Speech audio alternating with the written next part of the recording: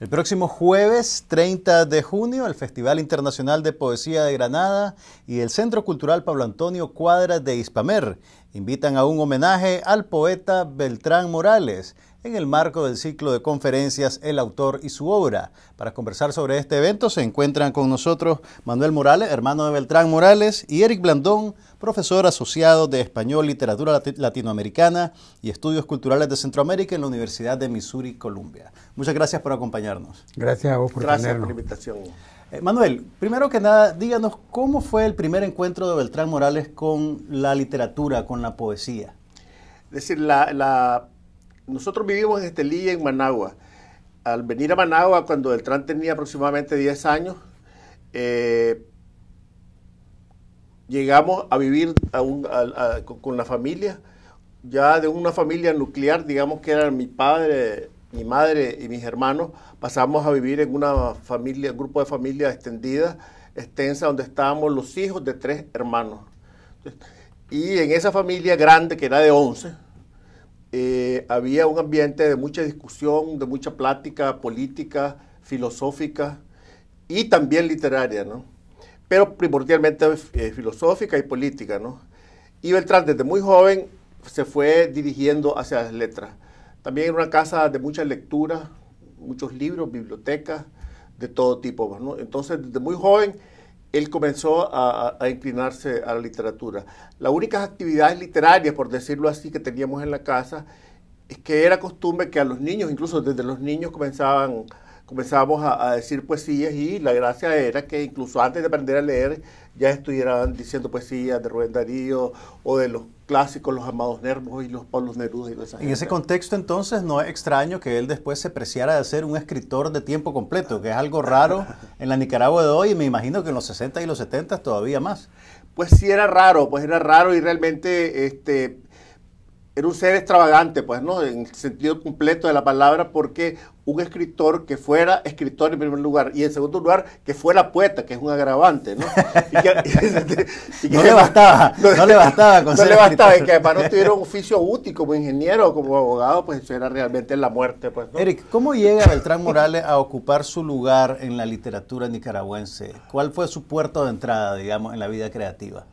Bueno, yo entiendo que él desde el colegio pedagógico empezó a destacar en la academia literaria, este, ahí conoció a otros compañeros de su generación, se juntaba con ellos y luego se eh, agregó, para decir de alguna manera, momentáneamente al grupo que se llamó de la generación traicionada, con el cual rompió muy pronto porque ideológicamente no estaban de acuerdo y se asoció después al Frente Ventana, pero ya desde ese momento empezó a destacarse como un poeta eh, contestatario que tenía una visión muy personal y que conocía ya desde muy joven el libro emblemático de la generación del 60 que era La insurrección solitaria de Carlos Martínez Rivas. Carlos Martínez Rivas casualmente dice en un prólogo a una publicación de poemas de Beltrán que su obra era completamente original.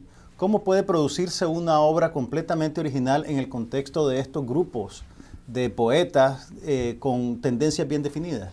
Es que eso es una de las de la, originalidad de Beltrán en la literatura nicaragüense es que él rompe muy temprano con toda la tradición literaria de la vieja guardia en la cual él fue formado por los vanguardistas Coronel Urtecho, Pablo Antonio Cuadra, Ernesto eh, Cardenal, y Luis Alberto Cabrales. Y él tiene una idea muy diferente de la literatura y de la poesía.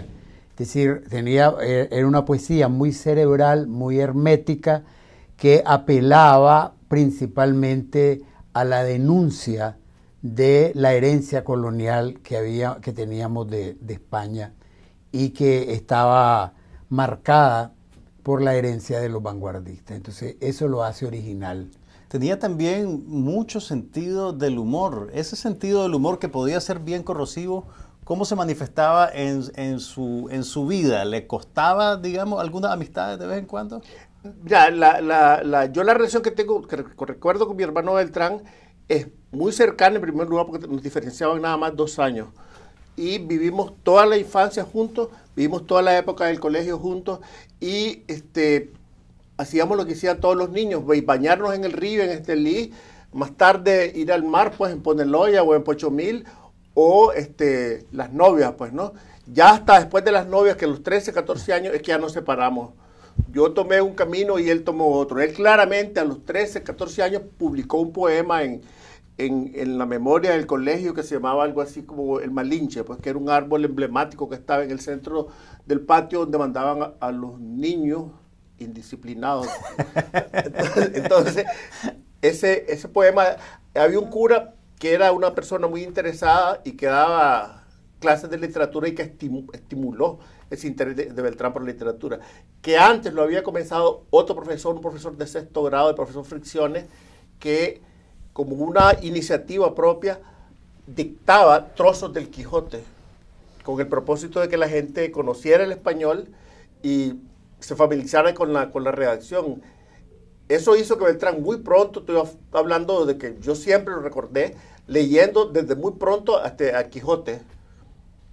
Yo me beneficié mucho de eso porque tempranamente este, yo estaba leyendo, las cosas que leía a los 13 años estaba leyendo a las 11. Algunas no las entendí nunca, ¿no? Pero otras abrieron mi camino para la lectura, pues, ¿no? Pero a mí me interesa lo del, lo del humor, porque algunos han llegado a ser ya caricatura y, un mito. Tenía un, agudísimo sentido del humor, pero nunca era irrespetuoso. Es era muy sutil. Eh, decir, tenías que tener mucha información porque era muy, muy agudo. Ve, eh, yo lo recuerdo, por ejemplo, yo era menor que él, casi seis años, tuvimos una relación de casi de, hermano, de amigo mayor, nunca me orientó ni me indicó qué hacer ni qué decir, ni nunca me calificó ni me dijo así se debe escribir o me gusta lo que escribí, jamás. Me daba cuenta después por algunos detalles si estaba de acuerdo conmigo y la, eh, o, me estimulaba. En las dedicatorias de los libros ponía cosas que te levantaban el ánimo pero su sentido del humor, yo recuerdo que, nunca fue insultativo, nunca fue ofensivo. Era de un ingenio agudísimo que utilizaba mucho los dobles sentidos y los juegos de palabras. Entonces, ah, vos, no, vos no entendías qué te estaba diciendo y te estaba diciendo. Eso está presente también en sus poesías. En Por supuesto. Él también practicaba la crítica literaria. Eso también es algo bastante atípico en Nicaragua, ¿no? Sí, yo digo que él no fue un crítico profesional, pero abrió este, caminos para la crítica. En primer lugar, rompió con la tradición del bombo mutuo. De yo, que, yo digo que tú eres un buen poeta y para que me el favor. me devolvés el favor. Beltrán si, corría riesgo de que podía perder amistades, pero no nunca hizo una crítica complaciente a nadie, ni por amistad, ni por poder económico, ni por poder político. Y cuando no pudo decir lo que hubiera querido, que hay que decirlo pues, porque está en el libro, que fue la crítica al libro más famoso de, finales de los años 60 en Nicaragua, que es El Comandante de Fernando Silva, lo que publicó en, en Sin Página Amarilla fue una página en blanco.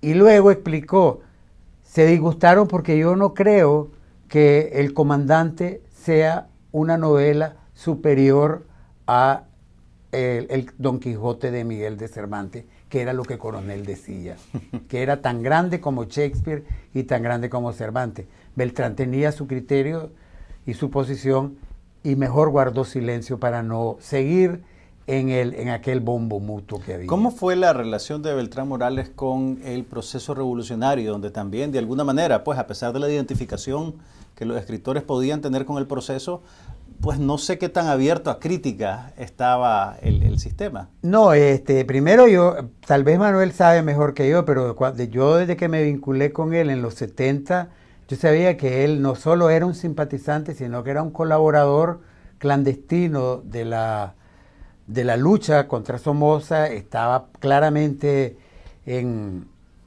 dentro del proyecto del proceso revolucionario y tiene un poema que, se, que, es muy, muy elocuente que dice, anda, corre, ve y diles y repíteles la consigna de patria libre o morir abiertamente. Entonces estaba identificado con el Frente Sandinista de los años 60 y 70.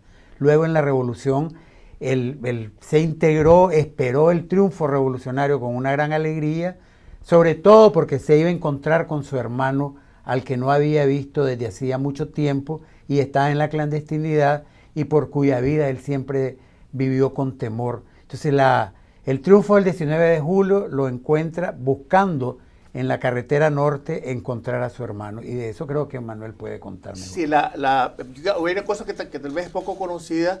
Eh, a mí me presentó a Carlos Fonseca, mi hermano Beltrán. Este, Carlos llegó a la casa de nosotros, cuando vivíamos ahí por el centro médico, y llegó Carlos Fonseca, llegó este, eh, este Ricardo Morales, y llegó también este, bueno, me acuerdo, ahí Julio Buitrago, los tres llegaron. Pero ya después llegaron en varias ocasiones este, Carlos y, Ricardo. Pero esta vinculación no es nada, no fue nada más que me presentó a, Carlos Fonseca, sino que también este, los libros, las publicaciones y también otras actividades que él desarrolló. Por ejemplo, él estuvo eh, involucrado en eh, posteriores eh, entrevistas de, Carlos Fonseca con Coronel Urtecho y coordinó con otras personas el lugar donde se encontraron. Entonces siempre estuvo relacionado, pues, ¿no? Y, muy, muy, muy de cerca, pues, ¿no? Eh, era un hombre de izquierda, de lecturas tempranas en la izquierda. Yo conocí muy joven, debe, debe ser los 17 años, 18 años, tal vez lo más, a Juan José Carlos Mariatti, que después me lo encontré mayor, más grande yo, pues, ¿no? Pero muy joven comencé a leer muchas cosas que él leía, consultaba permanentemente. Así no es un libro que me prestó, sino que ahí estaba, pues, ¿no? Eric, ¿dónde puede la gente encontrar la obra de Beltrán Morales? ¿Está disponible? No creo que esté disponible porque desde 1989 que se reunió este, la poesía completa en esta edición de la editorial Nueva Nicaragua y en 1994 que yo publiqué en la editorial Vanguardia Sin Páginas Amarillas y malas notas, no se ha podido este, volver a editar. Y además tiene una novela que es muy importante que se llama, Fábrica de Cajones. Fábrica de Cajones, que es un diario en el que él hace un juicio sumario de su generación y de el momento histórico que él vivió. Pero te quiero, ah, dejé sin responder la pregunta sobre cómo fue su participación en los años 80. O sea, Beltrán participaba en todas las actividades en las que participábamos los escritores que estábamos comprometidos con, con el proceso revolucionario que se vivió en los 80. Él era miembro de la Asociación Sandinista de Trabajadores de la Cultura y estuvo vinculado a él, a, ese, a esa actividad hasta que la enfermedad lo, lo obligó a retirarse de la vida pública. Lo que pasa es que con aquel sentido del humor él siempre se andaba burlando de todo y, jodiendo. Los este, revolucionarios no suelen tener mucho sentido del humor. no, por ejemplo, por ejemplo decía, te voy a decir un, por ejemplo, qué cosas decía que en aquella época es cierto, no tenía, no había, el poder no tiene sentido del humor. el poder es serio. Y entonces él, por ejemplo, decía que él era cuñado del vicenovelista de la Revolución, porque era casado con una hermana de Sergio Ramírez, que era vicepresidente. Y decía, mi cuñado es vicenovelista. O, por ejemplo, Odi en, otra, en otro sentido, cuando el mismo Sergio organizó en, en 1971 eh, el sesquicentenario de la independencia de, de Centroamérica, una reunión muy importantísima de muchísimos escritores centroamericanos, vinieron pintores y todo, y él decía, yo tengo el orgullo de haber participado en la gran reunión del subboom centroamericano. bueno, esperamos que en este evento que tendrá lugar en Ispamer el próximo jueves 30 de junio a las 6 y 30 compartan más anécdotas y más recuerdos de Beltrán Morales. Y queda patente la obligación para nuestras autoridades culturales de reeditar su obra. Ya saben entonces, un homenaje al poeta Beltrán Morales el próximo jueves a las 6 y 30 en el Centro Cultural Pablo Antonio Cuadra de Ispamer.